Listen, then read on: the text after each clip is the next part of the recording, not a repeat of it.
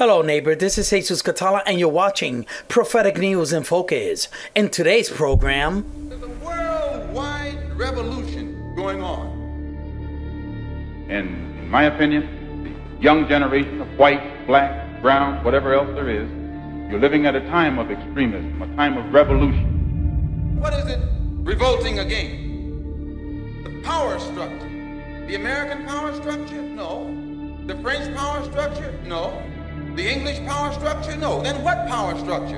An international Western power structure. And I, for one, will join in with anyone, don't care what color you are, as long as you want to change this miserable condition that exists on this earth. There's got to be a change. People in power have misused it, and now there has to be a change, and a better world has to be built, and the only way it's going to be built is with extreme methods. So what you and I have got to do is get involved.